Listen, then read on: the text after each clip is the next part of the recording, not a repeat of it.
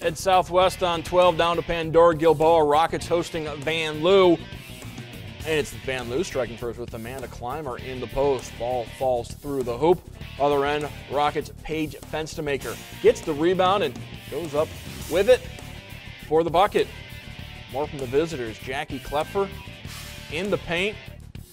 Gets two, but too much from the Rockets. Brittany Hovest with the bucket as Pandora Gilboa wins 53 38.